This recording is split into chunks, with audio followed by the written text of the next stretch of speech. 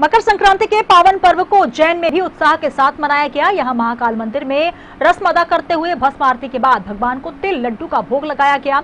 इस मौके पर मंदिर को फूल और पतंगों से आकर्षक तरीके से सजाया गया। इधर क्षिप्रा नदी में स्नान के बाद श्रद्धालुओं ने बाबा महाकाल के दर्शन किए। महाकाल का जो दरबार है, वो तो वैसे ही अद्भुत है।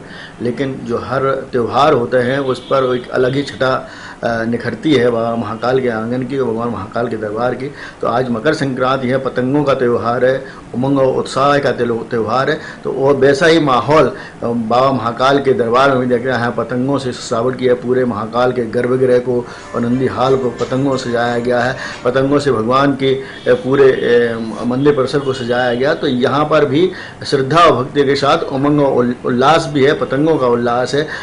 तिल जो तिल है, तिल के लड्डुओं से भगवान का भोग लगाया है तो एक अद्भुत आनंद की प्राप्ति होती है। मकर संक्रांति का जो उल्लास होता है, वो महाकाल मंदिर में आज दिखाई दे रहा है।